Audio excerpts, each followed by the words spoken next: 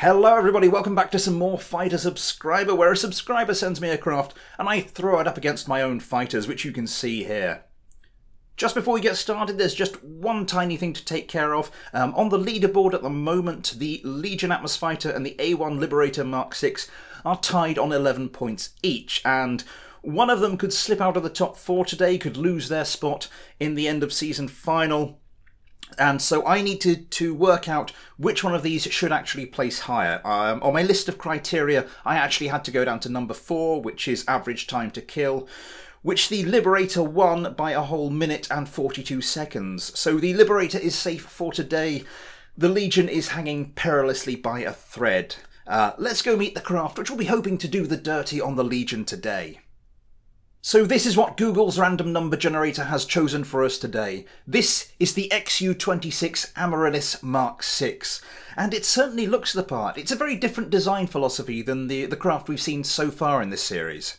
It uses three Saturn afterburning engines, which are going to give it a hell of a lot of power, but it does carry the fuel it needs for those, which is going to make it a quite heavy craft. Um, and adding to the weight, it's gone for two of those GAU-8 cannons instead of the Vulcans, uh, which means it won't be able to put out the sustained fire it would do with the Vulcans, but anything it hits is going to be in trouble. You're not going to get a smattering along the fuselage, you're just going to have no fuselage. Anyway, let's get it off the runway and see how it flies. So last week I described the F-54 Kaiser as being hyper-manoeuvrable, by which I meant it was very, very, very manoeuvrable, an order of magnitude above anything else we've seen so far during this series. The Amaryllis, however, is the first craft I think we've had which fits the proper definition of super manoeuvrable. Uh, it doesn't matter which way it's flying, you can flip it about to point the other direction in a split second. Uh, it's ridiculous to fly. Uh, you're not sure what the hell is happening, but you're pretty sure it's happening in style. We saw last time that that level of manoeuvrability can sometimes be a double-edged sword, but I think if this craft can play to its strengths, then it's going to do very, very well. So uh, let's get this started. So, as per usual, the Amaryllis' first fight will be against my Cyclones. Let's see what happens. And so it begins. My Cyclones were barely at altitude by the time it started. Yeah, these uh, got a fair bit of engine power behind them. Uh, nothing has been slaughtered yet apart from my frame rate, but I'm sure that will fix itself in due course. All craft turn around, and it looks like all craft have got missiles away. The Amaryllises start breaking low to avoid missiles, and these Cyclones will be doing likewise. Hoping for no missile kills, um, as ever, but these Cyclones have yeah, they've not been that lucky facing missiles recently. So we'll have to see how this one pans out. Something pauses. Nope. That's just that's just the way the frame rate is at the moment. It's not one of the Amaryllises. One of the Amaryllises being... Oh, it is one of the Amaryllises being hit. One of the Amaryllises is... Oh, for goodness sake. One of the XU-26s falls to an early missile kill and that will upset things. That was not what I was expecting at all. The Cyclones have not been very strong against a lot of the uh, subscriber craft, so this is a turn-up for the books. What's happening here? One of the Amaryllises turns about, trying to avoid a missile, presumably. We've closed the distance. There was a bit of gunfire, but it seems to have stopped for the moment. A joust. A joust now. Can the... No. Doesn't get guns away. As I said, it's an interesting choice to go for those go out, go out. I've just lost the ability to speak today. Those Gau 8 cannons were an interesting choice. Doesn't seem to be that easy to get them away. As I said, once they do get locked onto you, then it's game over, but it's just getting that opportunity is going to be a little bit tricky. Back to Eridoc Kerman. Currently trying to fend off the advances of both of those Cyclones, managing to open up a fair bit of distance. With the three engines, that will always be an option. Going for a joust. And that's some debris. That is some Cyclone debris. That is one of the Cyclones out of here. Jebediah has made good his mission to wipe one of the Cyclones out of the sky and even things up. It is two on two. If this Amaryllis can just hold on a bit longer now, though. Spins out a bit. That's the problem. It just these craft are just so super maneuverable. I'm not sure the Cyclones know what to do when they get one of these things in their sights. Jebediah, though, lining up a shot now. We'll have to make it count. Come on, Jebediah, make the shot! There we go! There we go, and that... That is what the GAU-8 cannons can do. It just rips that Cyclone apart. With the Vulcan, you might get a smattering of fire, just get a few bullet holes across across your torso, but not with the GAU-8s. If they hit you, you're dead. So it's just the one remaining Cyclone now. He does have a shot on that Amaryllis, but doesn't make it count. More gunfire rains in.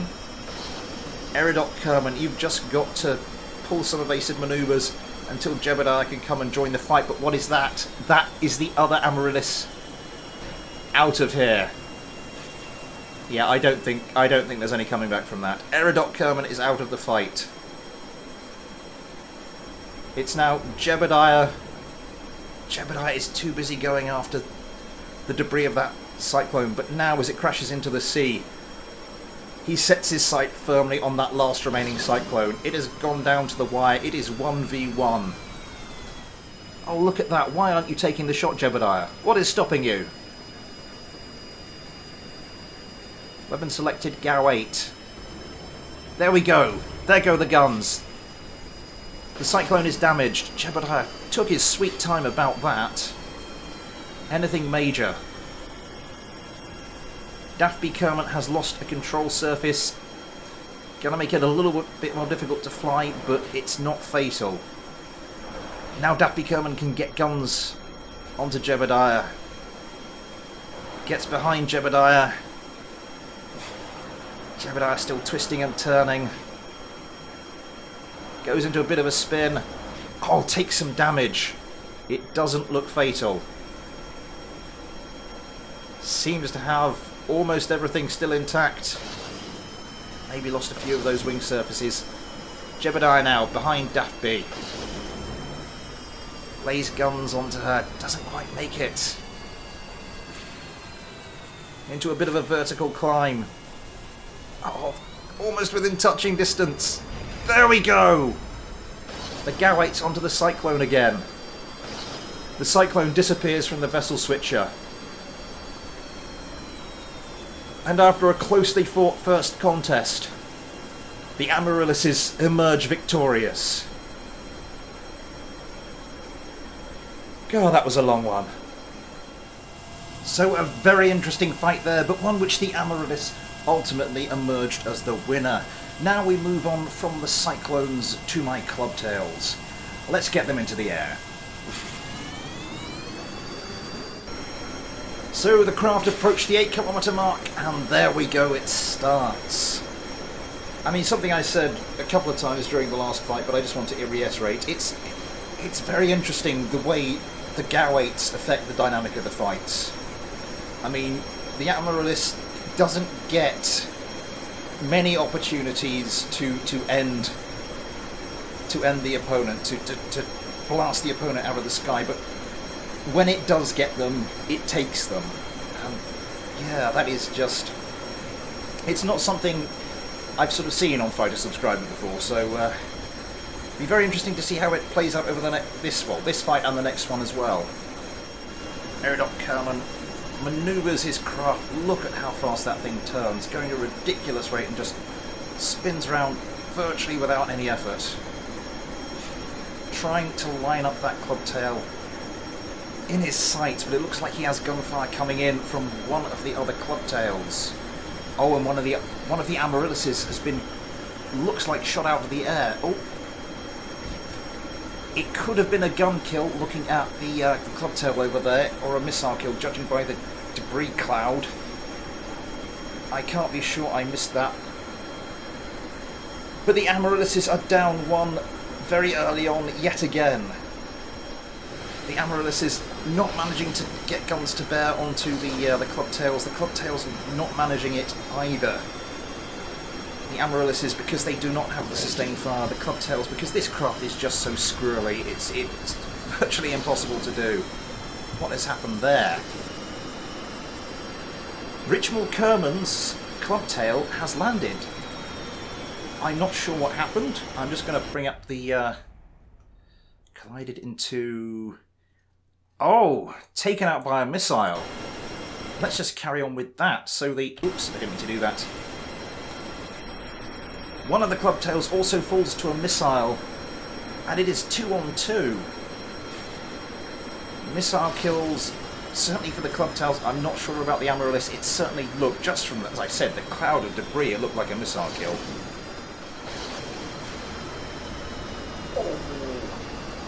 Trying to pepper it with... Oh, and there we go, some damage. Loses some wing surface. They're quite hardy craft, the Clubtails. They can continue flying in spite of some pretty serious damage. That is going to make the craft a little bit more difficult to control. Might make it a bit more difficult for the Amaryllis to line up a shot, make it more squirrely, but is probably not good news in the long run. Missile comes in, flies past. Jebediah Kerman. Surely trying to line up a shot now. A golden opportunity there. Fires off a missile at the other Amaryllis. Attention is distracted by the other Amaryllis. Gets hit again. Surely just one more hit will do it. Take some more damage. Ah, they're just glancing blows. I mean, for most aircraft, a glancing blow would do nothing, but these are starting to do damage. Lost a wing surface, lost some control surfaces now. Jebediah coming in to help his wingman here. Looks like he was going to go for the missiles. Instead, looks like he will instead be trying with his GAU-8s. Getting closer. Lining up that shot. It's a joust! Oh, and it's a collision. It's a collision. Looking at it, I think this was the club tail. I think the club tail came off worse. Some of that is that is some serious bugging out from some of those wing surfaces and control surfaces.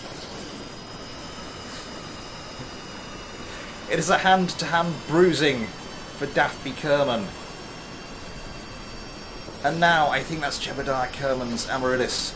Tries to come in, take the kill, gets very close, just surely one blast from those GAU-8s and it will be over, but is unable to do so. just look at the state of this craft. Ah. Yeah. I don't think that'll buff out.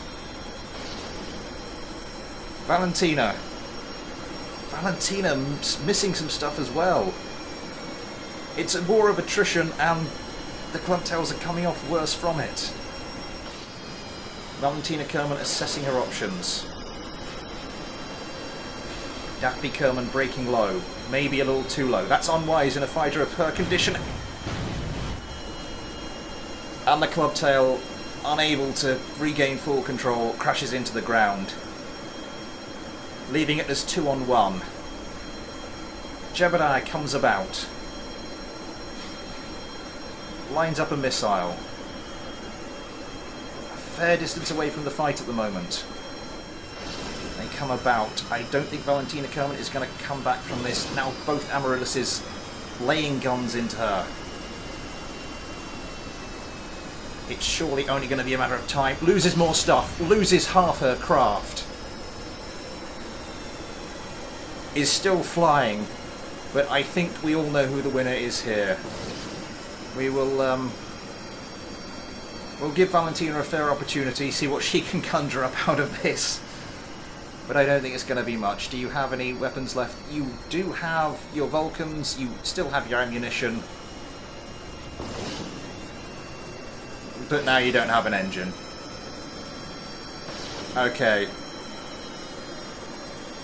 Again, another long and hard fought victory. Uh, the audio has been recording for coming up 19 minutes. But once again, the Amaryllises are victorious.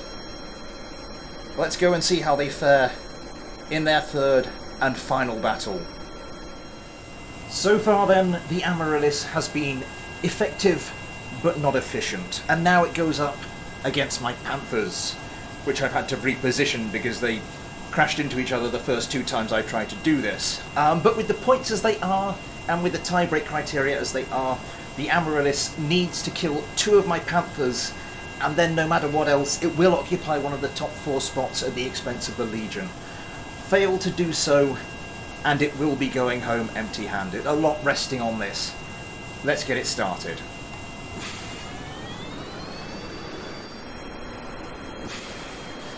And so the competition begins. I'm just staying with the Panthers to make sure they don't crash into each other again. They didn't, so we can begin this fight proper. Hmm. Some very, very, very long fights the last two times around. I'm hoping this can be a little quicker. Both sides seem to have gotten their missiles away, and Jebediah Kerman is now starting to break low to avoid.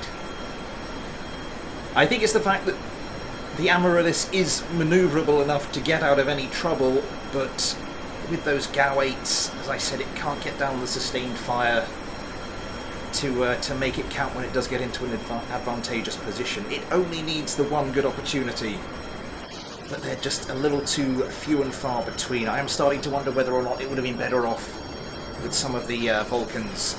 Jebediah Kerman does get off few rounds of the 8 towards one of the uh, Panthers, but uh, that's uh, more in hope than expectation, I suspect.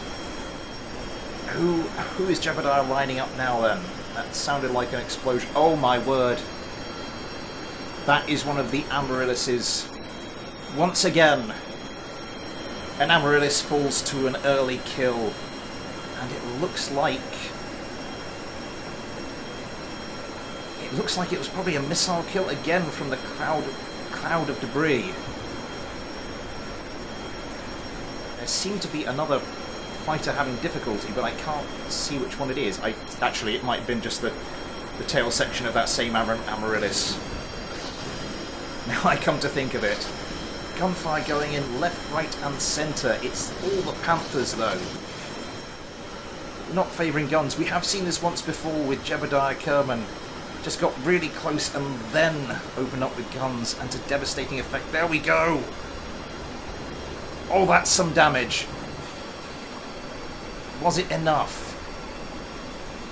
I'm not sure it was. I'm not sure it was. Jebediah Kerman must be bravely holding on over there. But that looks like some more damage on that Panther. Having a little bit of difficulty controlling it. I can only see it. Must have been missiles lost. I see a missing control surface. Loses some wing. Just glancing blows at the moment, though. Oh, that is so close. But the Amaryllis is manoeuvrable enough, even in that situation, to get around, try and lay guns onto Daphne Kerman some more. Has a missile incoming, should be able to dodge it. Has managed to put some distance between himself and the other two craft. That looks like it could be coming a bit close. Oh! and the Amaryllis disappears from the vessel switcher. Can we find that? The Amaryllis has been decapitated. Jebediah Kerman is no more. Until we reload him, obviously. But it's all down to Rowena, who will now have to fend off three Panthers. And with the rest of them at this distance, that means she's going to have to deal with a lot of missiles. I can't target... There we go. Oh, and that's the last Amaryllis taken out. I was here concentrating on Richmore Kerman, seeing what he was doing. And the last Amaryllis That's not the last one. The last Amaryllis decapitated as well.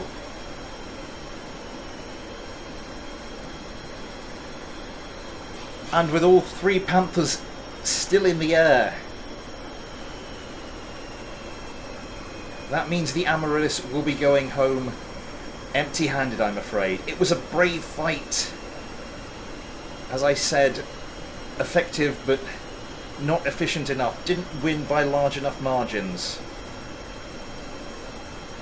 Anyway, let's go and wrap this one up. So it's a solid showing from the XU-26 Amaryllis Mark 6.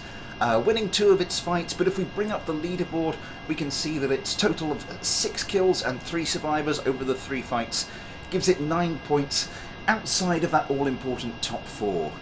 I like this craft. I do like a slightly unconventional craft, and I also like the thought of those two GAU-8 cannons ripping the merry hell out of their opponents. I really did want it to do well but sadly it will be leaving us empty-handed. Thank you very much to Arctifire for this fighter. Uh, if you want me to fight some of your craft, it's probably a little bit too late to get it into this season, but um, send it to me anyway, who knows what will happen in the future. Um, all the rules and details are in the description, but for now, thanks for watching, take care, and I'll see you next time.